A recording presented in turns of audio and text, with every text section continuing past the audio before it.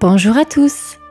L'histoire d'aujourd'hui s'intitule Lila, la petite souris timide.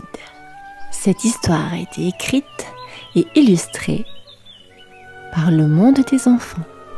J'espère que cette histoire te plaira. Mais avant de poursuivre cette vidéo, je t'invite à t'abonner et à cliquer sur la petite cloche de notification pour ne rien manquer de toutes nos belles histoires. Nous te remercions par avance et te souhaitons une agréable histoire. Allez, c'est parti. Il était une fois, dans une petite maisonnette au pied d'un vieux chêne, vivait une adorable petite souris du nom de Lila. Elle avait de grands yeux pétillants et de douces oreilles roses qui semblaient toujours être à l'affût du moindre bruit. Lila adorait explorer le monde qui l'entourait, mais il y avait un petit problème. Elle était extrêmement timide. Chaque matin, elle se glissait hors de son petit terrier niché dans les racines du chêne et elle se mettait en quête de délicieuses miettes de pain et de fromage pour son petit déjeuner. Pourtant, dès qu'elle entendait le moindre craquement de branches ou le chant d'un oiseau, elle se figeait sur place, son cœur battant la chamade. Lila rêvait de découvrir les mystères de la grande prairie qui s'étendait au-delà de la forêt, mais elle était trop effrayée pour s'aventurer aussi loin. Elle se contentait de grignoter des petits bouts de nourriture près de sa maison, rêvant des aventures qu'elle n'osait pas vivre. Ses amis, les oiseaux et les écureuils du quartier, l'encourageaient souvent à sortir de sa coquille et à explorer le monde avec eux. Ils lui racontaient des histoires passionnantes sur les ruisseaux scintillants, les fleurs aux couleurs éclatantes et les montagnes majestueuses. Mais malgré leurs efforts, Lila restait timide et inquiète. Un jour, alors qu'elle fouillait une vieille boîte en carton à la recherche de friandises, elle tomba sur une carte au trésor. Le parchemin décrivait un chemin qui la mènerait à travers la forêt, au-delà de la prairie et vers un endroit secret et merveilleux. Lila était fascinée par l'idée de l'aventure, mais elle se demandait si elle aurait le courage de suivre cette carte. La nuit tomba et Lila regarda les étoiles scintiller dans le ciel. Elle pensa à toutes les histoires incroyables qu'elle avait entendues et se dit que peut-être, juste peut-être, elle pourrait surmonter sa timidité et explorer le monde au-delà de sa maisonnette. Le lendemain matin, avec la carte soigneusement roulée dans sa patte, Lila prit une grande inspiration et commença son voyage. Son cœur battait vite, mais elle se souvint des récits de courage qu'elle avait entendus et se sentit déterminée elle traversa la forêt, fit face à des bruits mystérieux et des ombres effrayantes, mais elle continua d'avancer. Et ainsi commença le voyage de Lila la petite souris.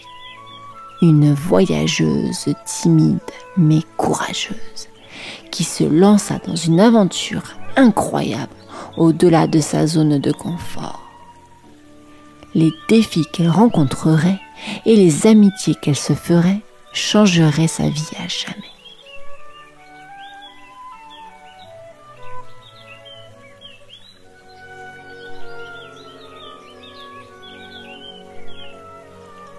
Alors que Lila la petite souris suivait avec précaution le chemin tracé sur la carte au trésor, elle se retrouva soudain au bord d'une rivière rapide et tumultueuse. Ses yeux s'écarquillèrent d'inquiétude. Elle n'avait jamais vu une étendue d'eau si grande et agitée auparavant. Lila se tenait là, hésitante, les petites pattes tremblantes. Elle était habituée à sa vie confortable et sécurisée à proximité de sa maisonnette. Et l'idée de traverser la rivière était terrifiante. Elle se remémora les paroles de ses amis les oiseaux et les écureuils qui l'avaient encouragée à affronter ses peurs et à suivre l'aventure. Elle s'assit au bord de l'eau, fixant les remous rapides et les éclaboussures d'eau. Hum, comment vais-je faire pour traverser cette rivière? se demanda-t-elle à voix haute. Alors qu'elle réfléchissait, un petit canard aux plumes dorées apparut sur la surface de l'eau. Il flottait gracieusement jusqu'à Lily, un sourire amical sur le visage. Salut, je m'appelle Ducky. Je t'ai vu depuis l'autre côté de la rivière et je me suis dit que tu pourrais avoir besoin d'un peu d'aide pour traverser. Lila regarda le canard avec gratitude. Vraiment? Tu serais prêt à m'aider?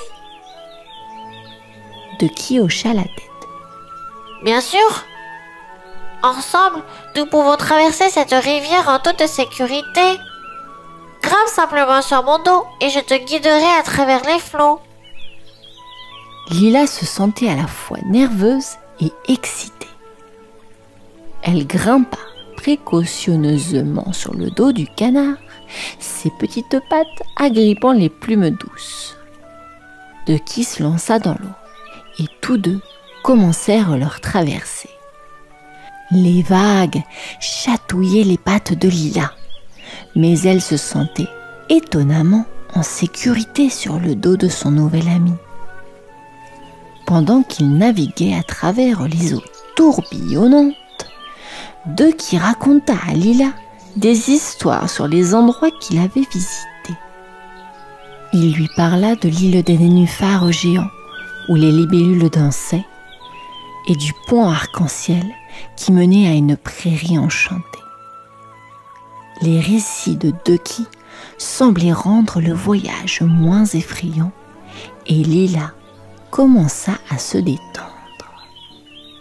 Soudain, un courant plus fort se forma, menaçant de les emporter. Lila sentit son cœur battre la chamade, mais Ducky réagit rapidement, ajustant sa trajectoire pour contrer les forces de l'eau. Finalement, avec une dernière poussée d'effort, ils atteignirent l'autre rive en toute sécurité. Lila descendit du dos de Ducky, les jambes un peu chancelantes. Elle sourit au canard avec reconnaissance. Merci Ducky. Je n'aurais jamais pu faire ça seul. Ducky ébouriffa affectueusement les oreilles de Lila avec son bec. Tu es plus courageuse que tu ne le penses, Lila. Et n'oublie pas, l'aventure est parfois effrayante, mais elle vaut toujours la peine d'être vécue. Lila regarda la rivière qu'elle venait de traverser, sentant une lueur de fierté naître en elle. Elle avait surmonté sa peur et découvert qu'elle pouvait compter sur des amis inattendus pour l'aider dans les moments difficiles. Avec une nouvelle détermination, elle se tourna vers le champ qui s'étendait devant elle. Les défis à venir semblaient moins intimidants maintenant qu'elle avait surmonté son premier obstacle majeur. Et ainsi, avec de qui à ses côtés, l'île à la petite souris continua son voyage vers l'inconnu, sachant qu'elle était capable de bien plus qu'elle ne l'avait jamais imaginé.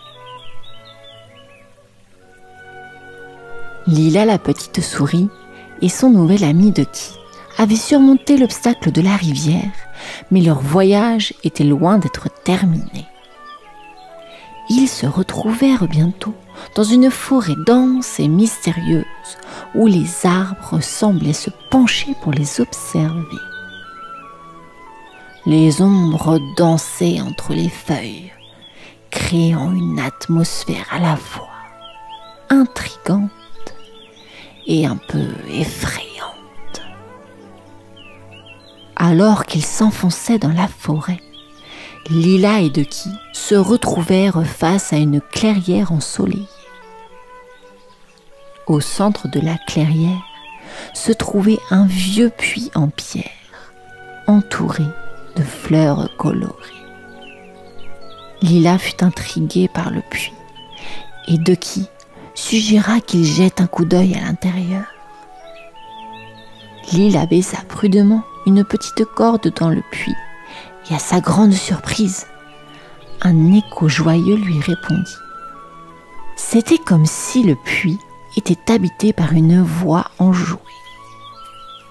Lila et Ducky échangèrent un regard curieux et décidèrent de descendre pour en savoir plus. Ils atteignirent bientôt le fond du puits et se retrouvèrent dans un monde souterrain étonnant. Des lucioles éclairaient le chemin, illuminant des tunnels qui semblaient mener vers d'innombrables aventures. Lila et Ducky se lancèrent dans l'exploration, découvrant des passages secrets et des cavernes étincelantes. Cependant, leur joie fut de courte durée lorsque le chemin qu'ils empruntaient soudainement s'effondra derrière eux.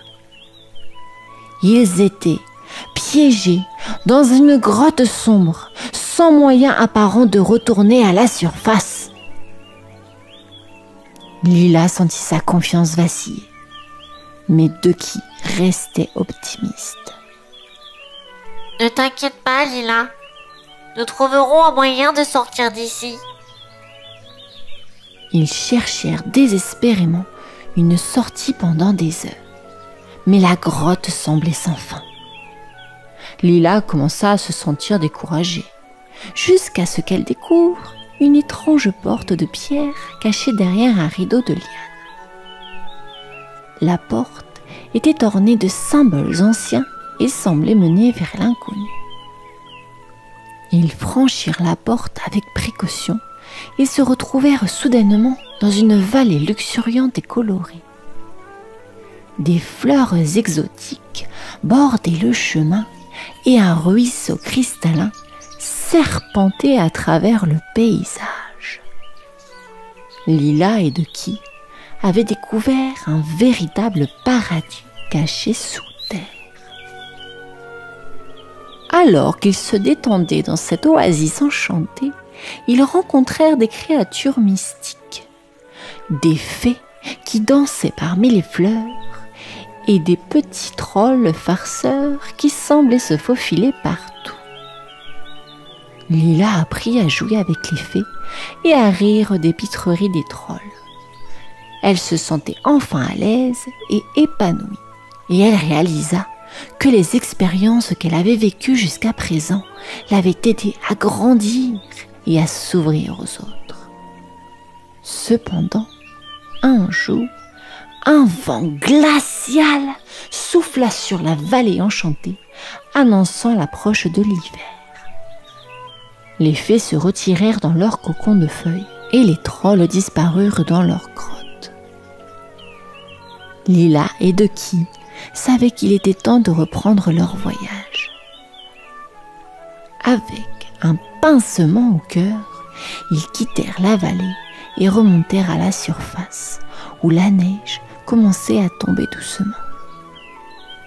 Lila sentit une tristesse mêlée d'espoir en pensant à tout ce qu'elle avait vécu sous terre. Elle savait maintenant qu'elle était capable de surmonter ses peurs et d'explorer le monde, tout en appréciant les merveilles qui l'entouraient.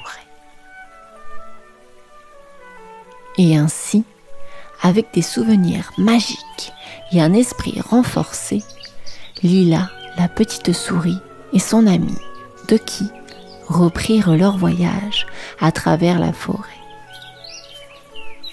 Ils savaient que d'autres aventures les attendaient et que peu importe les péripéties, ils pouvaient les affronter ensemble avec courage et amitié.